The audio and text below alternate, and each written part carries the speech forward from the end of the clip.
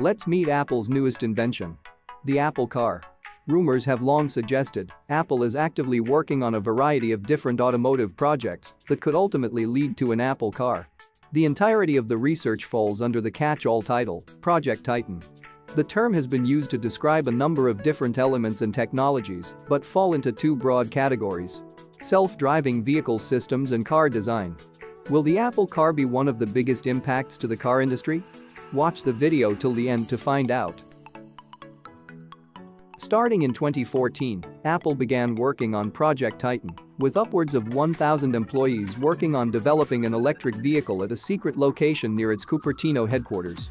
Internal strife, leadership issues, and other problems impacted the car project, with rumors suggesting Apple in 2016 shelved plans for a car for foreseeable future.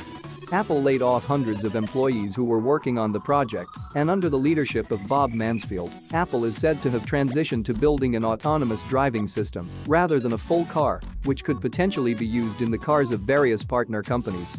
Bob Mansfield retired in 2020, and the car project has another new leader, this time John Giannandrea, Apple's AI and machine learning chief.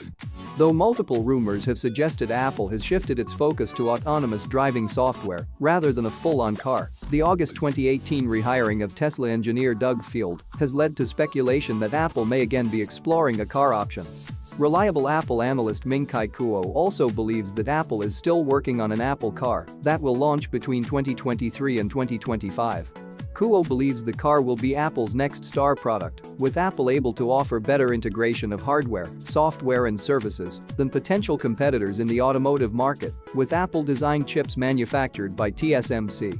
Apple in January 2019 culled the Project Titan team once again and removed over 200 employees. The move is said to be part of a restructuring done under the leadership of Doug Field, but it's not yet clear how the hiring is impacting Apple's autonomous vehicle plans. In June of 2017, Apple CEO Tim Cook spoke publicly about Apple's work on autonomous driving software, confirming the company's work in a rare candid moment. Apple doesn't often share details on what it's working on, but when it comes to the car software, it's harder to keep quiet because of regulations. We're focusing on autonomous systems. It's a core technology that we view as very important. We sort of see it as the mother of all AI projects. It's probably one of the most difficult AI projects actually to work on. Secret headquarters. Several rumors about the Apple car have included details suggesting Apple employees are working on the project at a top-secret location in the Bay Area.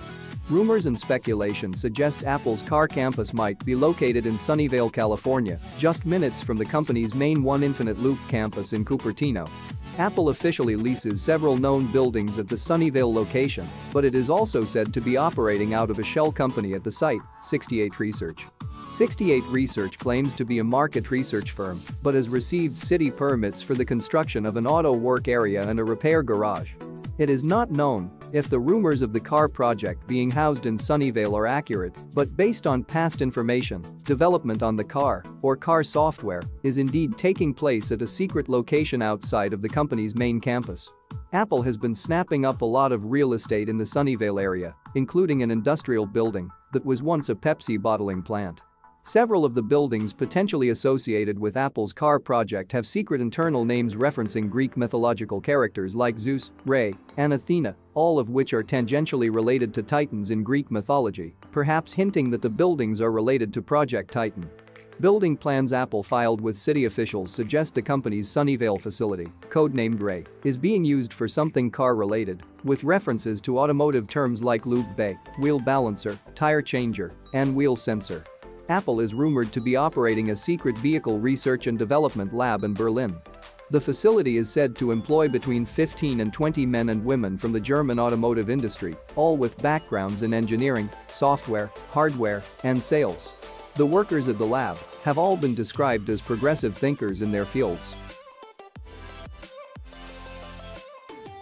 Initially, Project Titan was rumored to involve an electric vehicle called We Are Calling Apple Car, delivered by 2019 or 2020. Towards the end of 2015 however, the program experienced an incredible failure of leadership, according to one source, in which managers furred over where Titan was going. This led to the departure of project leader Steve Zadesky. The design and technology behind Project Titan remained very much in flux, sources said, with Apple at one point considering using BMW's i3 as the basis for its Apple car. Apple and BMW have held talks about a potential partnership, though both BMW and Daimler reportedly ended talks with Apple over who might lead the project and own data.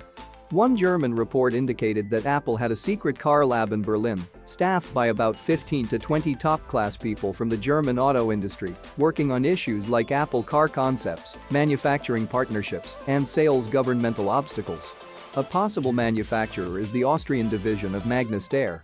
In May 2016, Mansfield is said to have announced the new Titan strategy in a Silicon Valley auditorium packed with hundreds of Titan employees, explaining that after an evaluation, he decided Apple shouldn't compete directly with Tesla, which already has several electric cars on the market and is working steadily towards full self-driving systems. The original vision of an Apple car that would detect its driver via fingerprint and then drive them anywhere had transitioned to a partially autonomous car to something more ambitious. However, another factor that may have pulled Apple away from its own car is the automotive supply chain.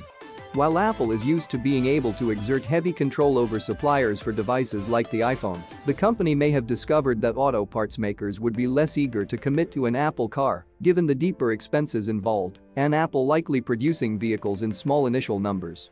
The company is meanwhile said to be developing charging infrastructure by hiring engineers and talking technology with firms that supply charging stations. An unknown engineering and construction firm allegedly approached Apple about offering services. A July 2017 report claimed Apple is working with Chinese firm Contemporary Amperex Technology CATL, to research and develop new batteries for automobiles. Few details about the confidentiality agreement were reported, with CATL officially refusing to comment. Unlike the self-driving element, which is naturally in the public eye, the design efforts of Apple have been kept under wraps for the most part. Aside from rumors, which have even suggested Apple is creating an electric van, the only real indications so far of Apple's design direction have been patent applications. Based on patent filings, rumors, and speculation, the general appearance of the vehicle could offer some departures from current vehicle design. Apple's use of sleek lines in other products could be reused in the Apple car, as well as wide swinging doors that eliminate the need for a permanent center door pillar, making openings even larger. Proposals include the use of Arkansas and VR technology, in-screen displays, privacy lighting, and unique sunroof designs, among other suggestions. The introduction of self-driving systems could further inform the design of the vehicle and result in more radical layouts, as there would be less of a need for conventional seating arrangements. Apple Car Design Apple's patent applications also cover the design of elements of vehicles, while this can include more pedestrian areas, such as powertrain systems, this also steps into redesigning essential concepts in vehicular design, rethinking basic elements in unusual ways. The sunroof of an Apple car could be set to slide a large glass panel, but in such a way that it remains central despite the car framework and tracks diverting away in non-parallel lines. A multi-segmented sunroof with independent sliding and lifting sections has also been proposed. A headlight system could highlight road hazards for drivers, such as by using an illuminated indicator shown next to an obstacle or specifically illuminating sections of the road. An anti-glare system for the windscreen could protect drivers from bright lights by dimming or blocking out parts of the glass while leaving the rest transparent. Continuing the theme of lights, Apple has suggested alternative ways to illuminate the inside of a car. These have ranged from fiber optic systems to an interior lighting system, using band pass filters to offer privacy by making it hard for onlookers to see into a vehicle. TrueTone technology borrowed from other Apple hardware could also be employed to ensure there is an even internal lighting inside of the car. The seats and seatbelts have received particular attention by Apple, such as the use of a smart seatbelt that could control CarPlay devices. Illuminated seats could inform users of how to adjust them for comfort or simply to buckle up.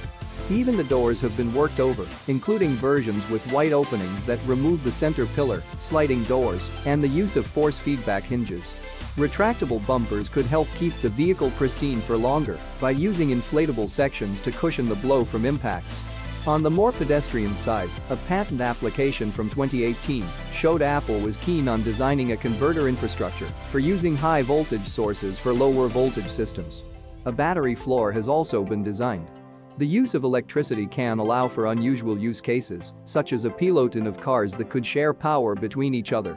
Wireless charging systems, including one idea where a small robot on the floor plugs the charging cable in underneath the car, have also been proposed. Innovations such as ultra-wideband radios included in the iPhone 11 could also be used, such as to provide keyless entry.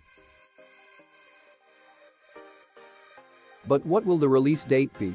Apple Car rumors had suggested Apple was targeting a 2020 release date for the Apple Car, but now that Apple has ceased work on developing an actual car, the company's plans are in flux. Apple analyst Ming-Chi Kuo a few years back said that Apple is still working on an Apple-branded vehicle, which is set to be launched in 2023 to 2025. Thank you for watching today's video, make sure to leave a like and subscribe to our channel. Before you leave, make sure to let us know in the comments. When do you think the Apple car will be released? And what do you think the price of the car will be like? Anyway, have a nice day and see you in the next video.